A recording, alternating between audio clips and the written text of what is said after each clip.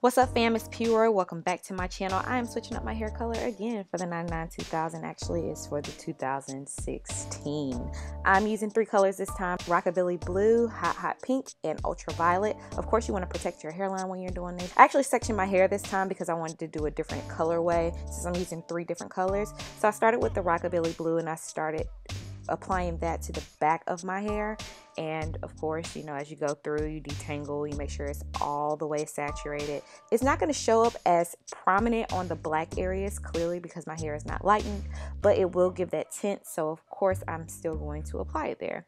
Then I use the blue plus the ultraviolet because I wanted to have a gradient effect moving up my hair. Next I applied pink to a few sections of my hair, making sure to really get that in there. And then I covered it with the aluminum foil so that it would not be tainted by the other colors. And then for the rest of that section, I applied ultraviolet. Then I moved on to the front and I was kind of confused. I didn't know what I wanted to do, but I ended up applying ultraviolet with the hot hot pink. And then I also have a couple highlights here and there of the blue and the pink. So as you can see, it is a gradient effect all the way to the top of my head. I covered up my hair. After two hours, I washed it out and it looked just like this. So the process wasn't hard, really. It was longer than it typically takes me to dye my hair because I normally just dye it one color for the most part.